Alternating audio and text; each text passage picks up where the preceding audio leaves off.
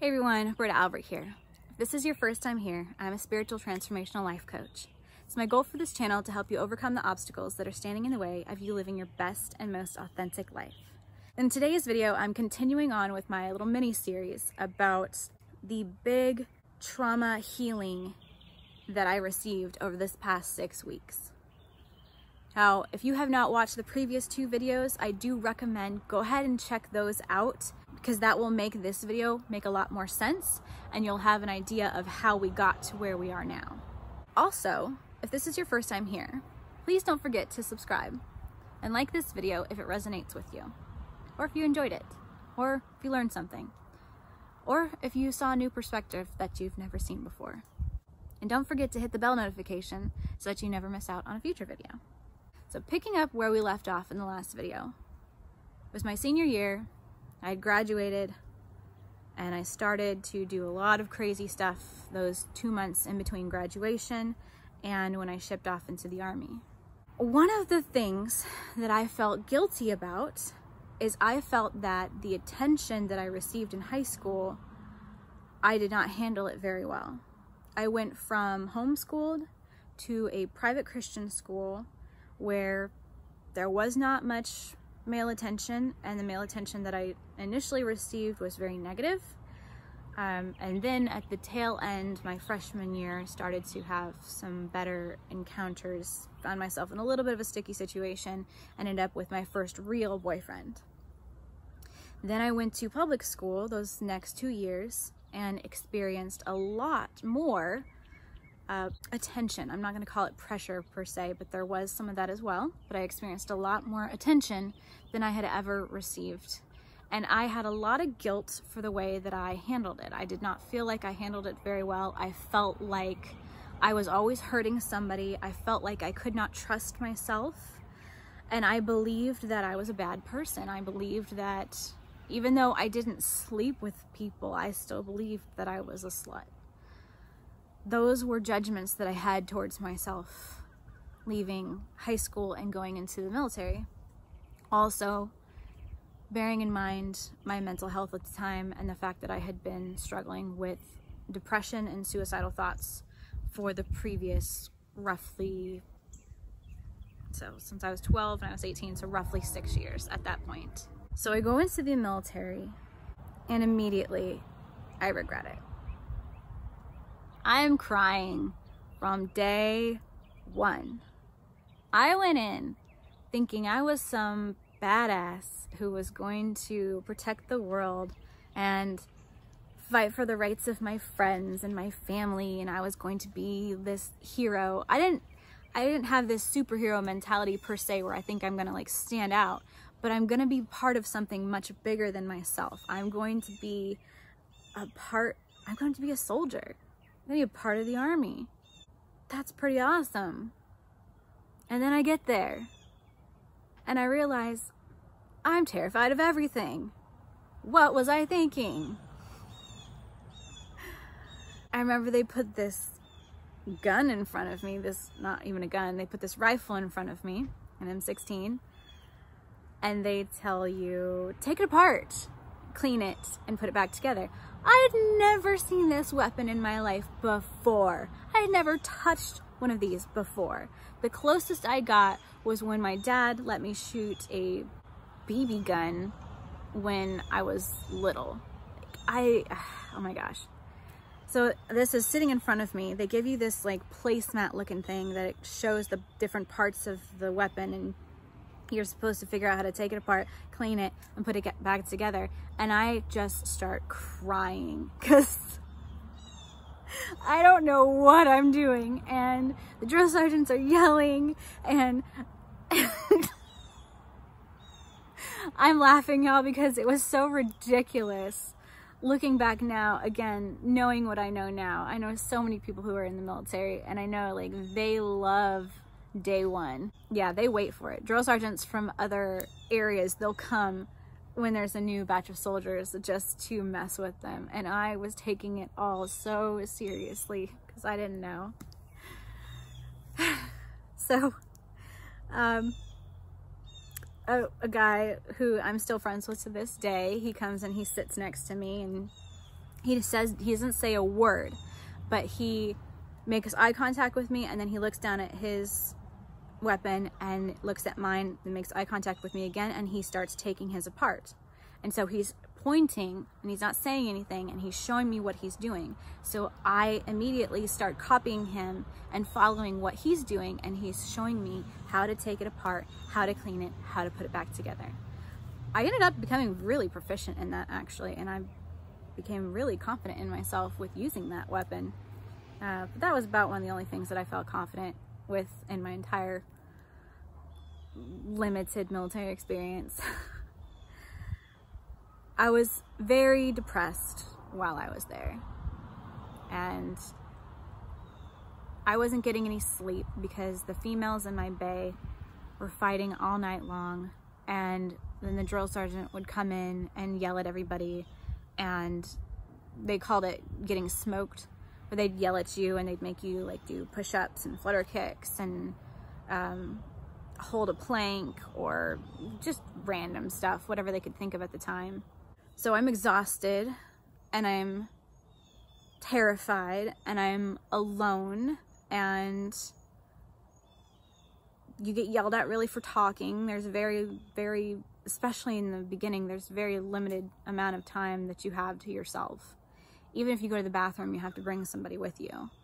Everywhere you go, you go by yourself, or you can't go by yourself. You have to go with somebody who's of your same gender. Now, little did I know there was a boy who saw me and was trying to get my attention. And I did not see him initially. And the more time went on, the more small bits of freedom we had where we were able to talk usually was in the evening when we're like shining our boots, which they don't do that anymore. It shows you how long ago it was that I was in there. This is before they moved to the boots that they have now, back when you had the black ones and you actually had to sit there and shine your boots every single night. So that was kind of the, the social time that we had. So the slower that you took shining your boots, the more socializing you could do. And there were many more guys than there were girls. And so even any anyone who's been in the military, or definitely any female who's been in the military can attest, it really doesn't matter what you look like. They're going to make you feel like you are the most attractive person on the face of the earth just because you're a female. And it, the ratio is like 80 to 1. So if I thought I had attention before, I didn't know what attention was. And I remember there was one day where we were out in the field and I don't know what we were doing, but I was at the back of the line and we were standing in line to get our food. And there was this boy in front of me and he turned around. I'm all depressed and emo-ish. I say something along the lines of that I was lost and forgotten and I don't know, it was just a particularly dark day for me and he picks me up and I'm like, I'm scared we're gonna get in trouble. He, this kid, this kid got me in trouble so many times and almost got me in trouble way more times. But anyway, he picked me up by my shoulders and literally turned me and set me in front of him so that he was now in the back of the line. And he told me from that point forward, I would never be left alone and forgotten again. Instant crush. Cute emoji heart eyes. Who was this person in this world where nobody would make eye contact with you, nobody would smile? If they made eye contact with you, they were probably yelling at you. Where I was so starved for basic human kindness. I felt seen by this boy.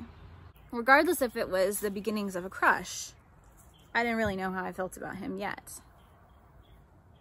And we started talking and he would find his way. And I didn't realize this until he told me later, but he had seen me since day one. And he had, when they split the different platoons up, he had counted the people and situated himself down the line so that he would actually end up in my same platoon. So when they were when they were taking everybody when everybody first got downrange and they were they were splitting people up into different groups.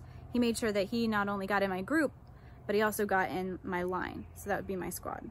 And I, I mean, you want to talk about feeling seen. He had been doing things and maneuvering and trying to get my attention for apparently weeks and I was completely oblivious, completely self-absorbed in my depression and in my fear that I hadn't noticed him. But when I noticed him, I noticed him. I would love to say I knew from the beginning and it was love at first sight. But I didn't know what my heart wanted and I still didn't know who I was and I still struggled with the depression. And really, the depression was the most dominant thing in my life. And I still wanted to hurt myself.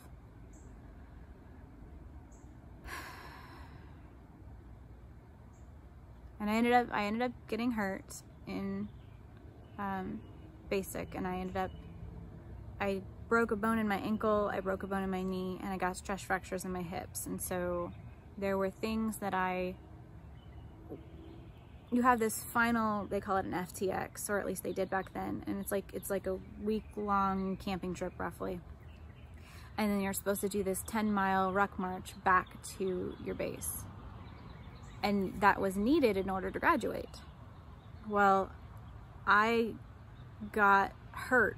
I kept, every time I got hurt, I didn't realize how hurt I was, and I just kept going, kept going, kept going. Because the whole thing is drink water, press on. And I went until I couldn't go anymore. When the pain was so intense and my ankle was so swollen and my legs hurt and my hips hurt and I, I couldn't move anymore. It was done. I had pushed too far and I was just sobbing my eyes out and drill sergeant yelling at me, said, what, what the F is wrong with you? And I just, I, I'm in so much pain. I can't just can't go on. So I had to leave the FTX and go stay at this like medical holdover place because I couldn't go back to my bay because nobody was there. Everybody was on the FTX. So while I'm there, you still can't go anywhere by, by yourself. You're still with somebody of your same gender. You, they call it your battle buddy. And so there was this one girl and she really wanted to, she was also hurt, but she really wanted to get back to her group. She wanted to be able to graduate on time. She didn't want to have to be what they call a holdover, where your group graduates without you and then you have to wait until you heal and then you get put with another group and then have to graduate and move on. And she didn't want that and I didn't want that because for me, I had made friends in my group. I didn't want to start over. I didn't want to come into a group that was already halfway through and I didn't I didn't want to be left behind. Because remember, he told me I would never be left behind and forgotten again, and that stuck with me. So she was determined to keep up her strength and she was determined to overcome whatever her injury was. I can't even remember what it was. And so I was right there with her. And so, you know, our upper bodies were fine. Um, I don't know what she hurt, but I know that her upper body was fine. My upper body was fine. And so we would do sit-ups and we would do um, a, like modified planks and things like that, and modified push-ups so that we're still working our upper bodies, but we're not damaging our, our injuries further. And I remember she asked if she could go to the restroom or whatever, and the, or whoever was in charge of us said yes, that you had to take a battle buddy with you. And of course she grabbed me because we, we were becoming friends. So I follow her into the bathroom and the door closes and before I know it, she is making out with me. And I didn't know, I don't know. It wasn't the first time I'd kissed a girl, but I'd never been attacked by a girl before. And because of some of the things that I'm going to share with you, I didn't realize that there was trauma in that moment because that's something that is more socially accepted. Going back to the first video and what my understanding with Adam and Eve and how I felt that God felt towards women and how I felt my role was as a female, something like that seems to cater more to the male ego than the female ego, so I thought. So this was the first experience where I also felt that it was my fault for potentially giving signals of something that I didn't mean to.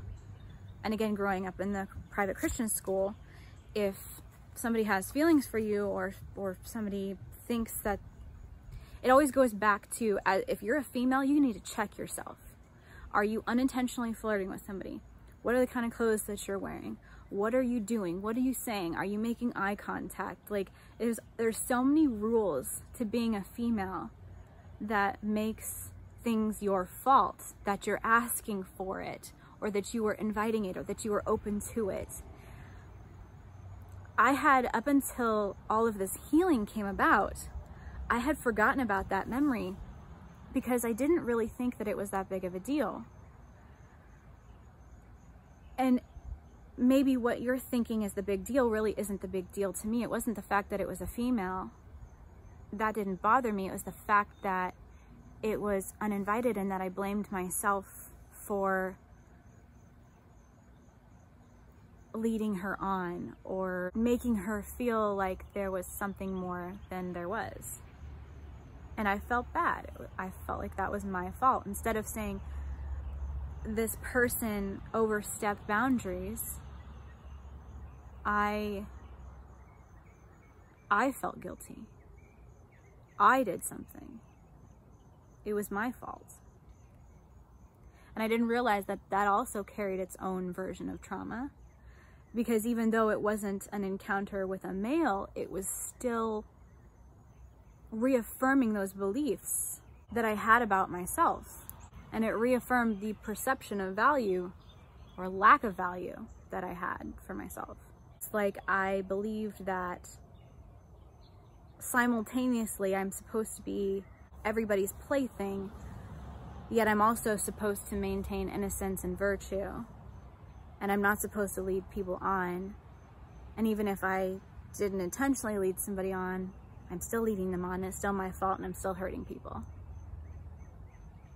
It is a extremely hypocritical belief system and, and it's not one that you can win. But I didn't understand that I could change that. And I didn't understand that that's not the way that things were. And I didn't understand that that's not the way that it had to be. I was just trying to survive and and again it was just feeding more into that depression and more that realization that I can't do this. I can't do this life and I can't be this person that I'm supposed to be. I can't I can't function with these rules. I'm not smart enough. I'm not good enough. I'm not brave enough. And I'm a bad person. Now, as I was heading back to my company, they had all completed their FTX and I was headed back to meet them. I had to take a little bus from the hospital quarters that I was in to where my company stayed. As I get on the bus, there's about maybe three or four people on this bus. One of them is my boyfriend from high school. Although he had left before me, he also had some medical stuff going on and he had become a holdover they don't let you move on until you heal. You have to heal. Even if they were going to discharge you, you have to heal before they'll let you leave most of the time.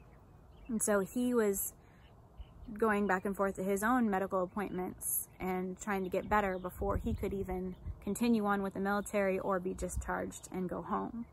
It was awkward because of the way that we had ended things, but I was still happy to see him so I cautiously went and I sat near him. I sat across the aisle on the bus and we talked for just a few minutes. It was maybe four or five minutes till we got to where I needed to be dropped off. And it was just a, hey, how are you doing? What are you doing here? Oh, this is what's going on with me. What are you doing here? Oh, this is what's going on with me. And that was pretty much it. It wasn't enough to, that gravitation wasn't enough to pull me back in to want to be with him again, but it was enough to make me refocus. And it made me refocus on the person that did see me. I ended up going back with my group after they had completed the final ruck march. And in order to graduate, you had to make up the march, which meant that you had to put on all the gear and then you had to walk around this track for 10 miles. Well, there was only one makeup day that you could have. And I, I desperately, I wanted to see my family on graduation.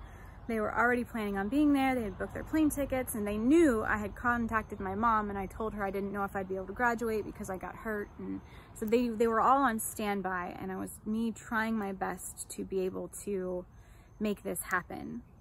So that day, the one day where you had the makeup time where you could go around the track and make up that 10 mile ruck march, was when I was supposed to go back to the the the hospital, the doctors or whatever, and I was supposed to get a checkup and see how my injuries were doing. So our, I think he was a first sergeant, he asked me when I was gonna go to my follow-up appointment. And I told him that I was not going to go to my follow-up appointment because I was going to make up the ruck march instead. Then the next couple hours later, as we are preparing and we're cleaning things and we're getting ready for the end of that cycle and for graduation. We're sterilizing all of our equipment and all of that, and we're, we're inventorying. Uh, my drill sergeant comes up to me and she says very begrudgingly that I get to graduate and I don't need to make up the ruck march. I was cleared of the ruck march. At the time, I didn't care why. I was just ready to go. I was all excited to get out of there. And of course, I understand now that it was because if they would have allowed me to do that march while I was knowing I was injured, then that could have been a lawsuit, or at the very least, it would have caused a lot more medical stuff for them to have to do with me. So they cleared me of the march and I was able to graduate. I saw my family and it was great and I was exhausted and I was happy and and the boy who said that I would never be left alone and forgotten again, his mom and my mom started talking and they exchanged phone numbers so that they could keep us in touch with each other. So after we graduated from basic, we went to, all of us went to different directions. I went to Fort Huachuca in Arizona and the boy that I had liked, he went to Virginia and all, we, we were all over the place. There was only one person who went to Arizona with me and he had a different job than I did so we didn't even have AIT together per se but we were still within the same proximity during free time we could still hang out with each other but he was the one who sat down and showed me how to take apart and put together my weapon so it was neat to have somebody at least that I knew in Arizona. Otherwise I would have been completely alone. So because I was hurt, I had to be, it wasn't a hold over per se, but it was a hold under. But it wouldn't have mattered because I would have had to have that anyway. That AIT, my particular AIT was human, human intelligence collector, which is essentially interrogation at the time, I don't know if it still is anymore, but at the time it was an 18 month long AIT. So after the first couple months, you actually had permanent party privileges, meaning that you could um, have your own vehicle. And once really class got started, some people could even apply to have an apartment where you couldn't stay off, because you're still a student, you couldn't stay off post at night on during the weeknights, but if you had an apartment, you had the all the weekends were completely yours. You were free. So you could stay at your own apartment if you wanted to. So there was a lot of privileges that we had that most other AIT uh, soldiers students did not have because those AITs were only maybe like six weeks or 12 weeks or eight weeks or nine weeks long. They weren't a full year and a half long. Because, because ours was so long, you had more of those privileges.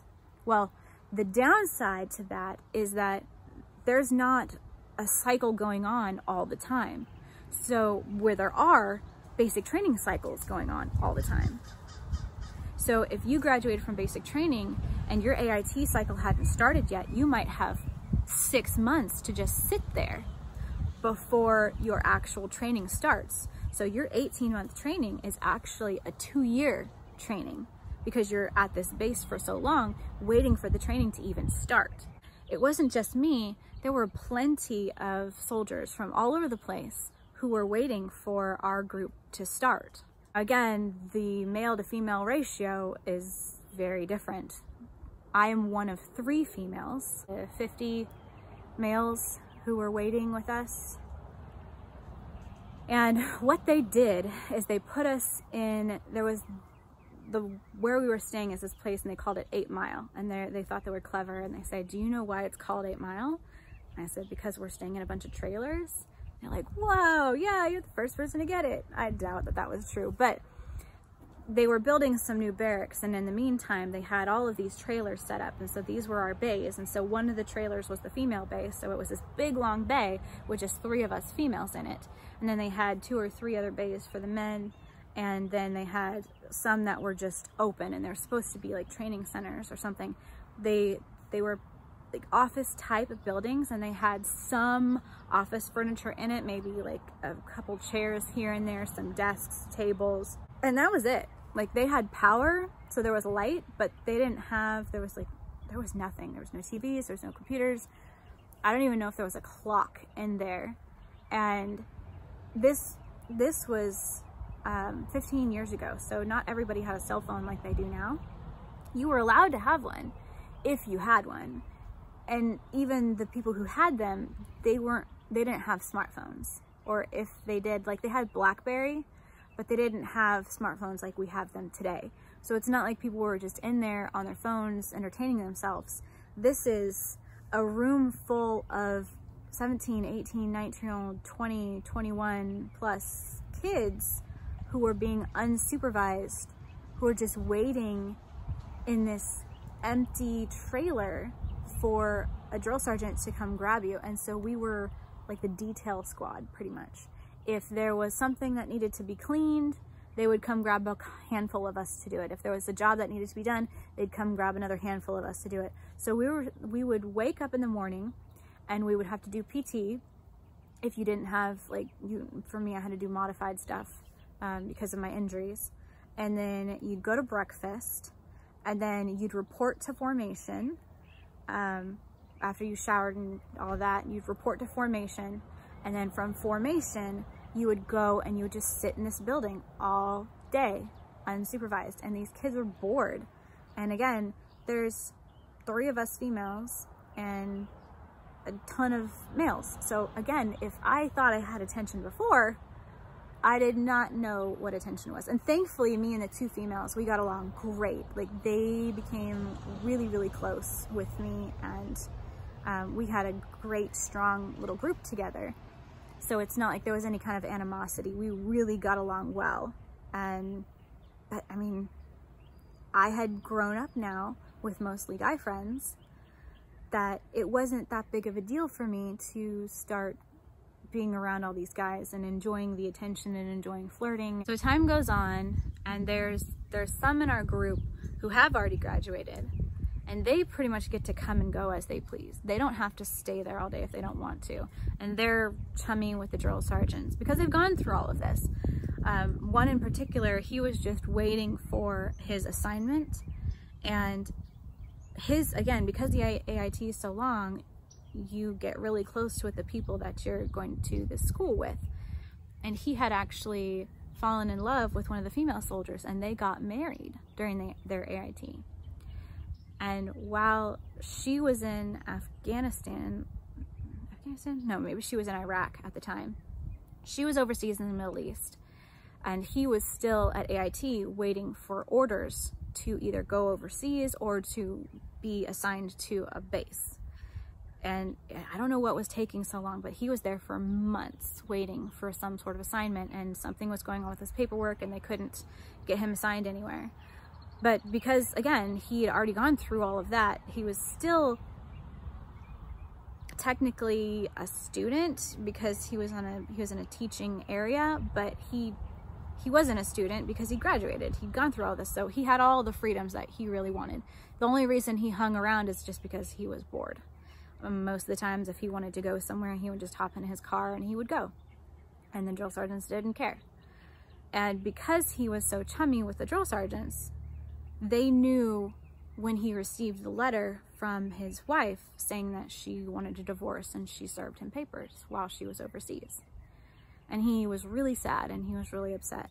I, I was still suffering from depression and suicide and I was hurt um, because of my ankle and my knee and my hips and I was lonely and my even though I was having fun kind of, you know, hanging with these kids all day, the depression was always the most dominant thing for me.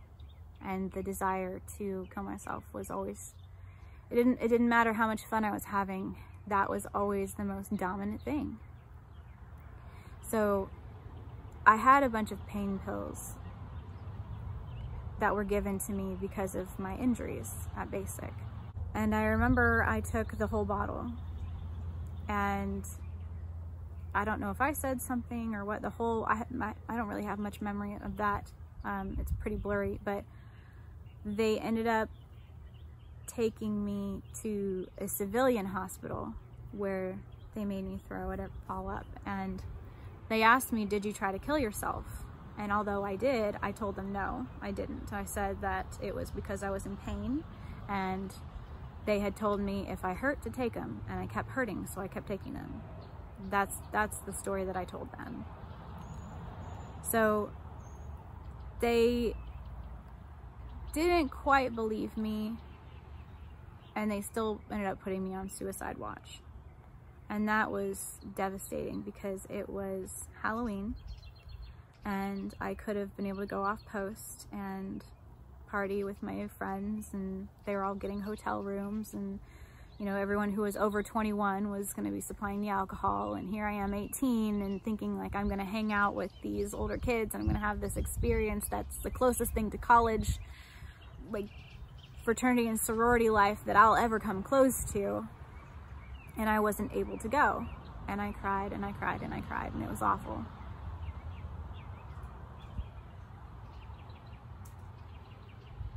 So the drill sergeants knew they knew that I said I didn't try to kill myself, but they also didn't believe me. So they also knew that I was sad.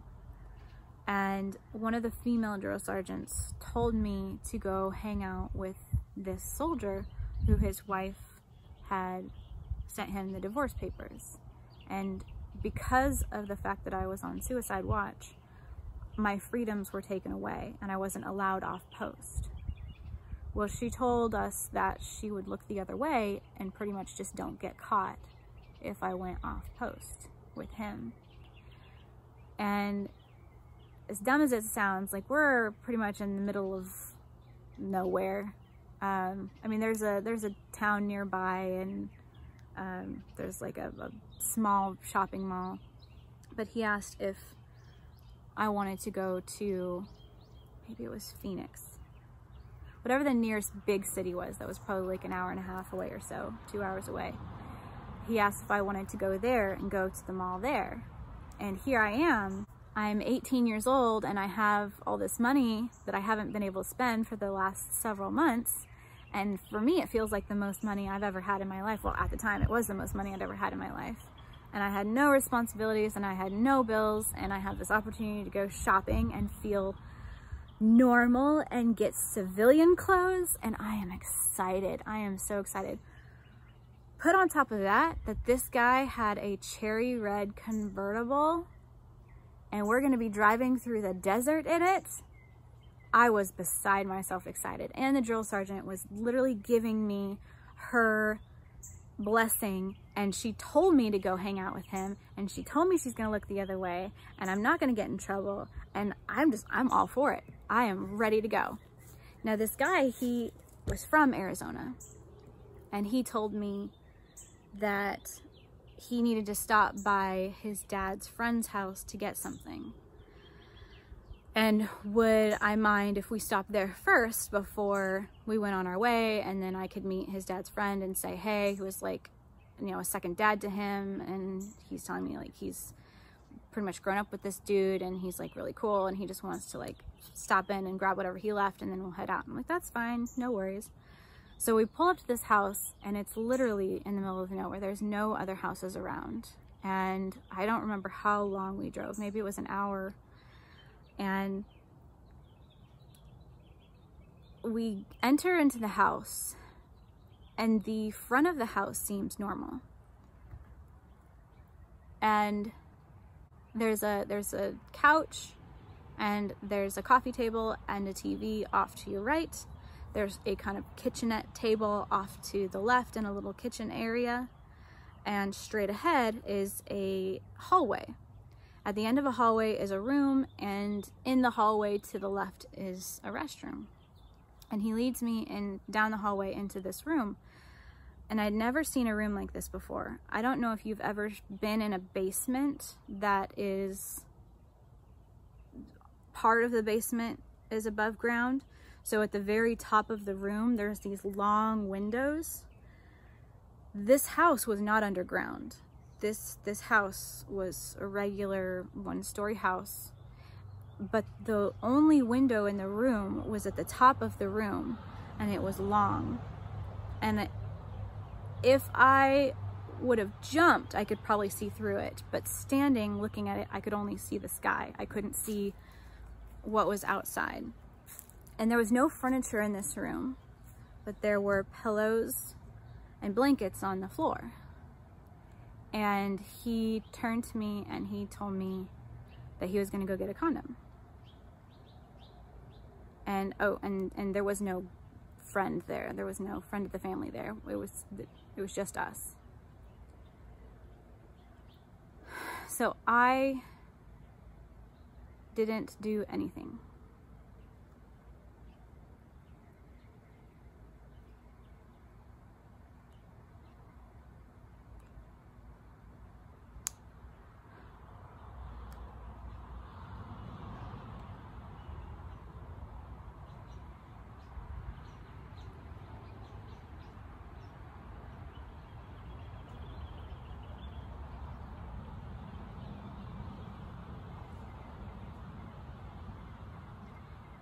It was the first time in my life that I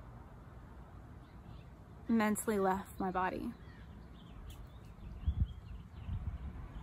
And I didn't fight. I didn't say yes. I didn't say no. I I just froze. And when he was done, we didn't talk about it.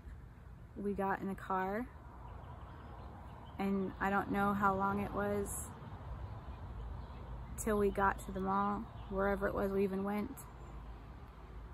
And we had lunch and then I don't even think we shopped. If we did, I don't even remember it. And he brought me back as if nothing had happened. And I was confused because I liked this other guy. And I was wondering, am I am I in a relationship with this guy now? Because we had just done that. Do I have feelings for him? Did I invite that? Was I flirting too much? Did I make him believe we were in a relationship?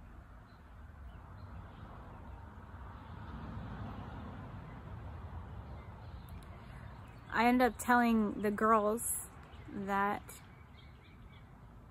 were in my bay and I told them how what had happened and how I didn't really want to do that, but it's okay because it's not like it was rape or something. and I remember what the older of the two, she she was like, um, yes, that that is rape.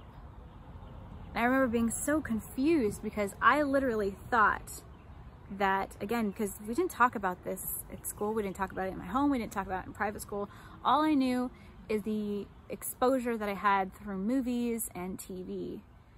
And I thought that rape was getting like jumped in a dark alley by a stranger. I thought rape was violent and uh, somebody that you didn't know. I had no idea what rape actually was. And so when she told me that, I felt scared, but I wasn't sure if I believed her. And a couple nights later, you have this thing called fire guard, where one person from your bay has to stay up all night and guard the others. And so it was my night for fire guard. And again, we're in these trailers and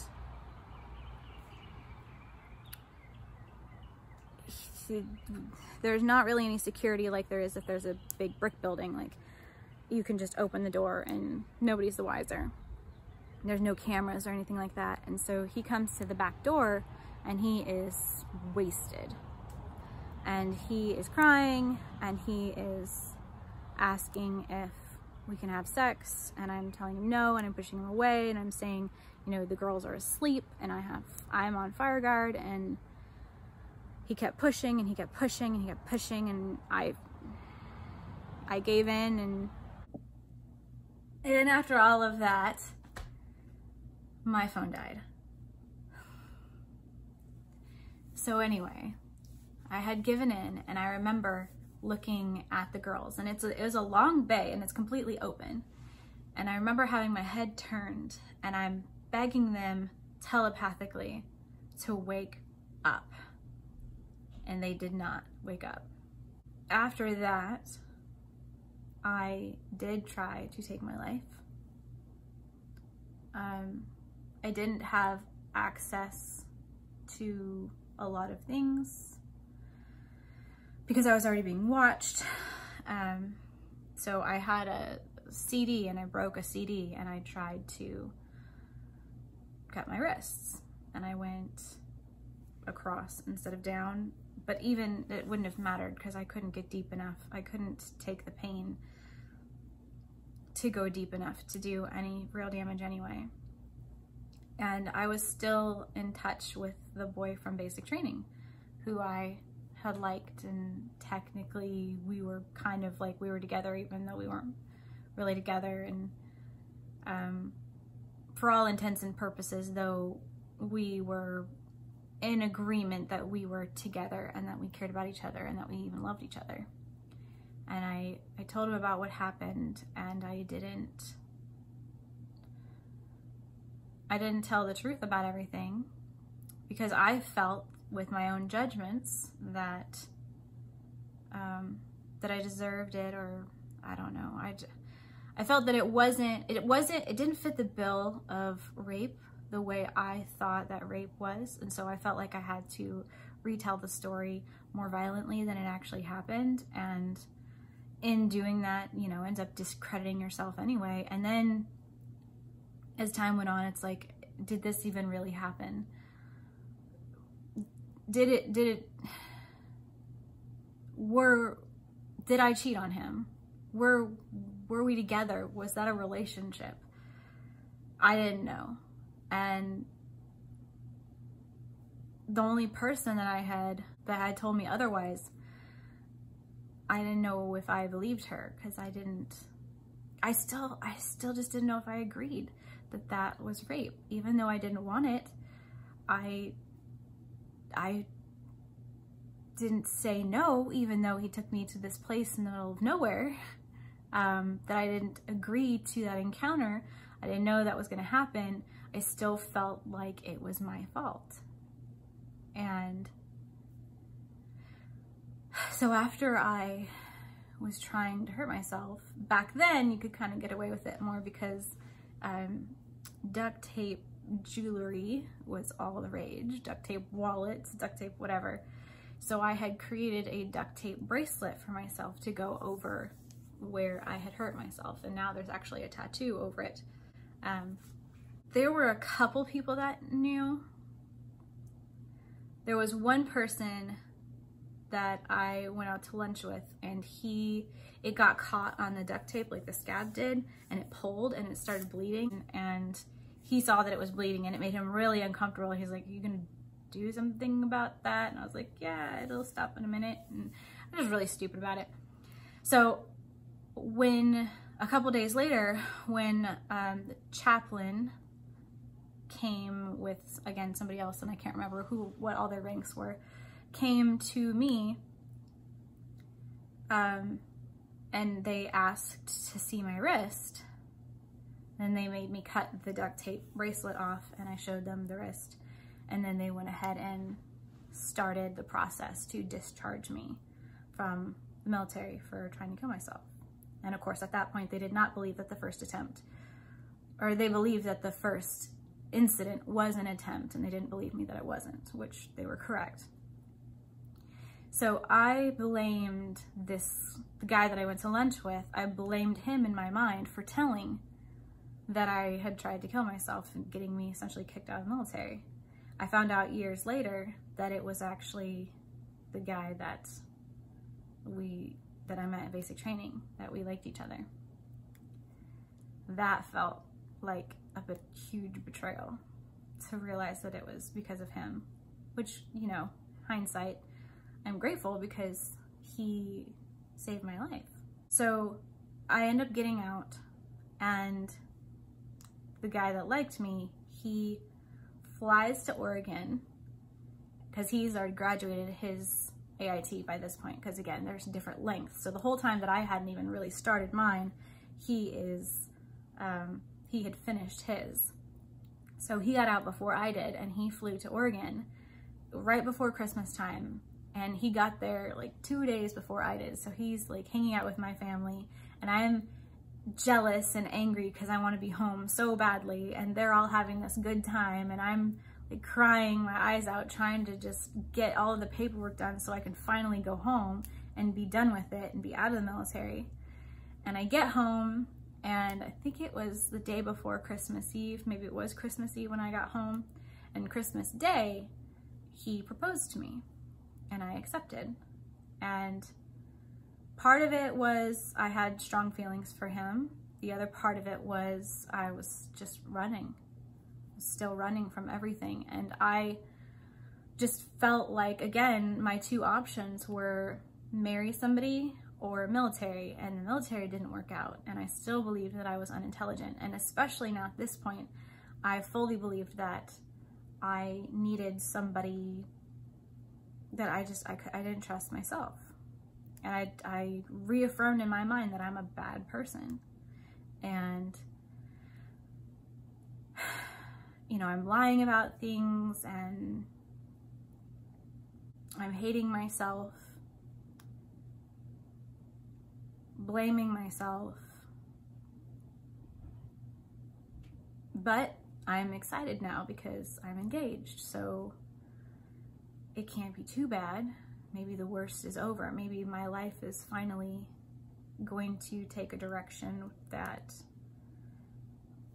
is is happy and I'm full in victim mode like full like all of this is happening to me um I don't think that I'm powerless per se because I'm thinking I'm the one causing all of it which again isn't necessarily incorrect um, but just the judgments aren't aren't helping me. My self-judgments and my belief systems are not helping me.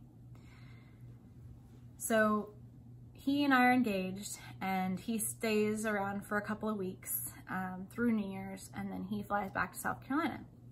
And so my mom took me aside and she said, I think that you should move to South Carolina before you guys get married because you've only met each other in this training environment. You don't know each other in the civilian world you should probably get to know each other outside of the military and make sure that you actually do want to marry each other. And I respected her words then, I saw the wisdom in him then, and I see the wisdom in him now. So the plan was that come springtime, a couple months, I would be moving from Oregon to South Carolina to live with him for a few months before we got married that June. I spent most of my time, if not almost all of my time, hanging out with my friends and partying with my friends. The words that I literally said were, this is the last time that I'm gonna see my friends, but my family will be around forever. And I had to eat those words very soon. But I spent all of my time hanging out with different people, doing different things. And one of our friends from high school, he was older than us. And so he had his own apartment and he could buy alcohol. And here I am, I'm still 18 and most of my other friends, the ones who are not either in the military or away at college and they're kind of doing, they're working or they're doing the community college thing at first, the ones that are still around, we all get together and we hang out at this other friend's house um, because he can supply us with alcohol. So I go over there with all of them and we're partying and I end up passing out on the couch. And at some point, everybody else left. I don't know. It was just me and this guy who it was his apartment. And I woke up to him undoing my pants and putting his hand down my pants. And I was scared, so I didn't know what to do. So I just made it like I had just woken up. And I made a sound and moved and he pulled his hand out of my pants and just kind of left it at that. And so I asked him, I said, why are my pants undone? And he said he didn't know. So I got up and I left and I, by the time I got into my car, I was just shaking. So I called my fiance and I told him what happened and he is livid and he makes me give him the phone number of the guy who owned the apartment. So I did. And he calls him up and he is chewing him out and he calls me back and he said, you better get your ass on a plane to South Carolina tomorrow or there's not going to be a wedding. So I didn't know how to explain to my parents why I needed to get on a plane to South Carolina, but I had to say something. I had to convince them.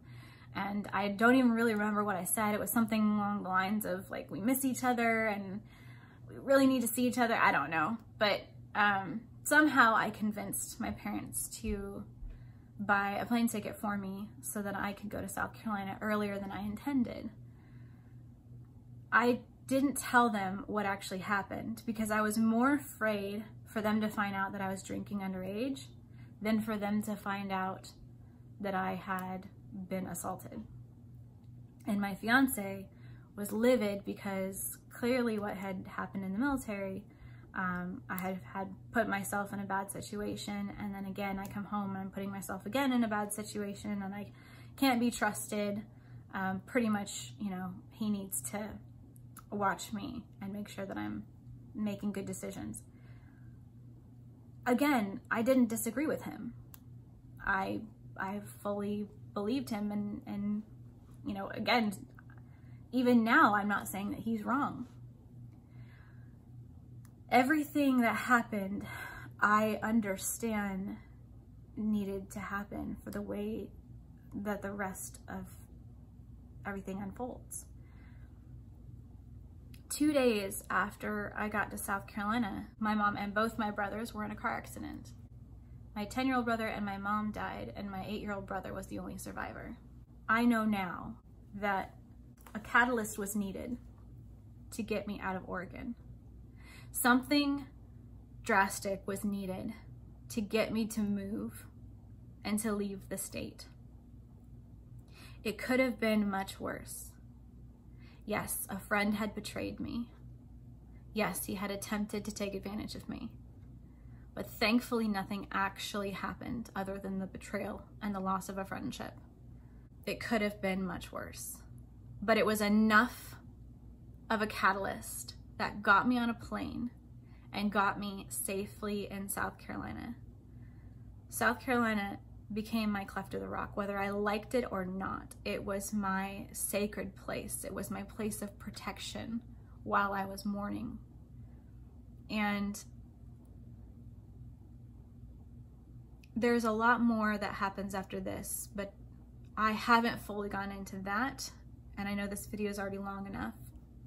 But what I'm going to show still is the, the way that the two videos are connected. After I decided to not run from the traumas anymore, and I decided to start forgiving myself, and I saw the new perspective of the way that things happened, I forgave myself for hating myself. I forgave myself for believing I was a victim. I forgave myself for believing that I was powerless. I forgave myself for blaming my naivety, for getting in that situation. I forgave myself for feeling that it wasn't bad enough that I had to lie about it in order for it to be taken seriously. I forgave myself for having conflicting feelings about the whole situation and for wondering if I had feelings for that guy because I had unwillingly shared my body with him. I forgave myself for believing I could have done anything different as far as receiving the attention from the guys in high school and the guys in the military. And I asked Spirit, what was the point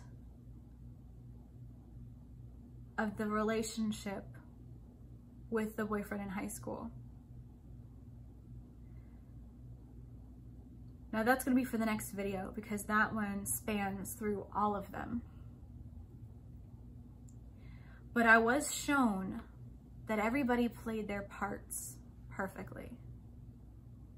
And if you were to think of before we come here, you have this imaginary, just use your imagination. You have this imaginary round table conversation before you decide to come into this life.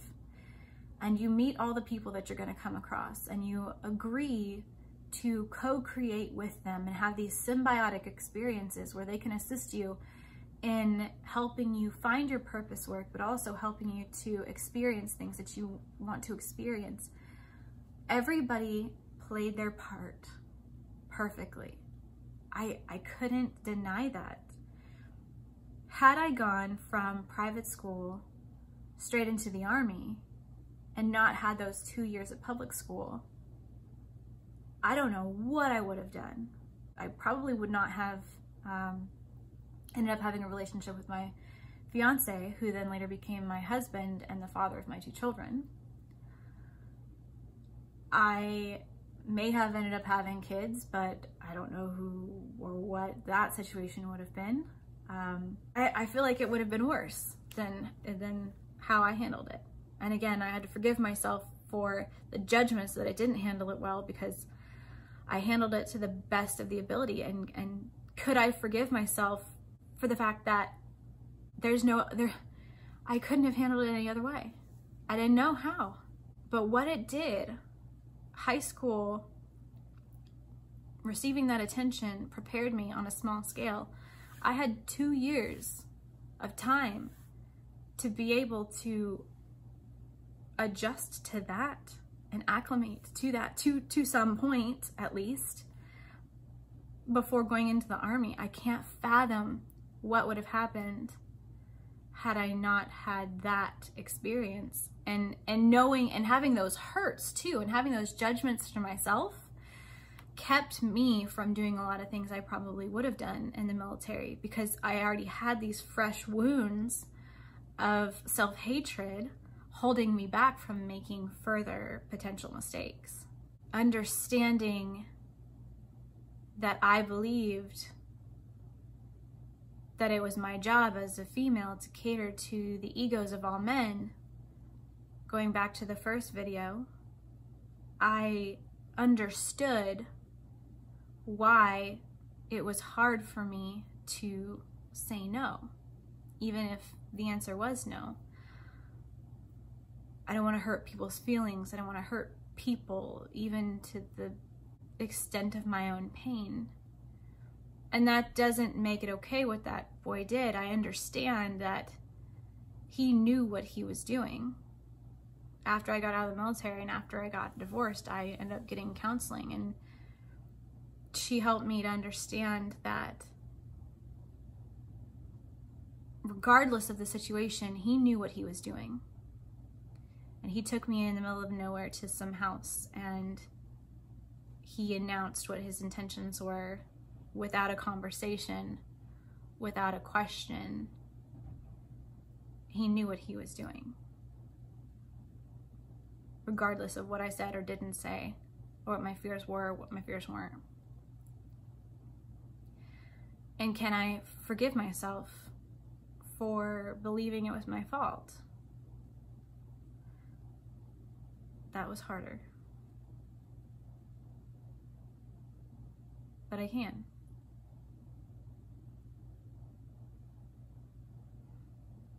And again, the friend who whose apartment we all drank at I've forgiven him years ago. Doesn't mean I want to see him. Doesn't mean he's in my life or ever will be. But I have forgiven him because I do understand that a catalyst was needed to get me out of Oregon. Because the fact of the matter was, I, at that time, I smoked cigarettes. And my, of course, my parents were not happy about it, uh, rightly so. So they were driving through the mountains to meet my stepdad. And either I would have gone on that trip with them and I would have taken my own car so that I could have smoked. And my little brothers probably would have wanted to ride with me, more than likely, because that was the way that it was back then. And I would have told them no because I wouldn't want to, I wouldn't have wanted them in the car with me while I smoked. And it would have been more important for me to smoke than to ride with my mom or have my brothers ride with me. So had I been following my mom in my car and witnessed their deaths after what had already happened, after just having gone through that experience in the military, after trying to take my life and failing on two separate occasions, being hospitalized for one of them, after the assault that had just happened, at that point would have been three days prior, I have zero doubts in my mind that I would have been alive today. If I didn't end up in South Carolina, I know I would have taken my life in Oregon. I would have not have gone to marry him. I would not have cared. I would have said, screw it. Probably some other choice words. And I would have gone off the deep end. And either I would have drank myself to death, I would have ended up in my own car accident, I would have taken my own life. I would have got on drugs. I'm not sure, but I know I would not have survived very long if I would have witnessed that, especially not being in the car. Because as much as I would love to say I would have been in that car, I know at the time, I know I would have wanted to smoke and I would have taken my own car and I would have witnessed it. So something was needed, something drastic was needed to get me across the country. And I just can't deny that. So I can't, I do fully understand that part. And I am grateful because even though that friend betrayed me with his actions and what he did, he saved my life. And then when I got to, when I was in South Carolina and that happened, I did. I went off the deep end for a little bit and we were drinking a lot and I didn't care and I didn't I literally I didn't care about anything. I didn't care about myself. You know, I love my fiance, but he he didn't get it. He'd never lost anyone before. He tried his best, but he didn't understand depression. He didn't understand loss. He didn't understand anything I was going through. And for him, he did not get the girl he fell in love with the girl he fell in love with was perky and yeah she had her bouts with depression and suicide and yeah she was wounded and somebody for him to fix and protect and the whole damsel in distress thing which i will tell you gets real old real fast. But i was skinny and i was pretty and i was crazy and fun and and you know he that's not the girl he ended up getting because i was mourning and I was lonely and I was not mentally well. And we ended up really quickly getting pregnant with our son. And although I was scared, I always say that my son gave me joy because it was a reason to live. Being pregnant with him kept me alive long enough to hold him for the first time. And I remember the first time I heard him cry, I cried. And I felt instantly in that moment an unconditional love I didn't even know existed. And I felt like there was sunshine in my life for the first time. And if for nothing else, this child needed me to stay alive. And I fought and I fought and I fought and I fought. And I can say I did. I, I still have those moments sometimes. And I've, I've had them throughout the years. But I understand that part of the mental illness and I understand that those thoughts, they're thoughts. The feelings are real, but the thoughts aren't. And one of the things that I tell my clients is that your feelings are real, but doesn't make them true. I can give it a voice. Those thoughts, they're coming up because something's triggering them. Either it's sorrow, or it's shame, or it's embarrassment, or it's loneliness, or it's fear, or whatever it is there's a reason that it's getting triggered. And now, especially that I'm a life coach, I can coach myself through it, but I also have an amazing team of coach friends and my own coach who's helping me through all of this as well. So I don't have to do it alone, even though I could. So I'll leave you with this for this video.